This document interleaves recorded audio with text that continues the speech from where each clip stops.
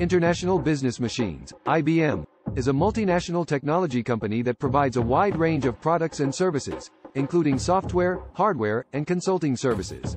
Here is an overview of IBM's stock metrics as of April 13, 2023.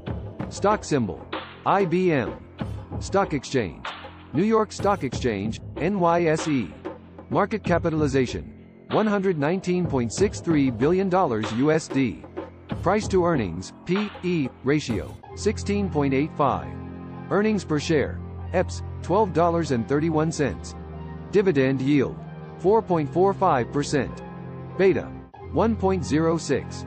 52-week high, low, $165 per $108.22.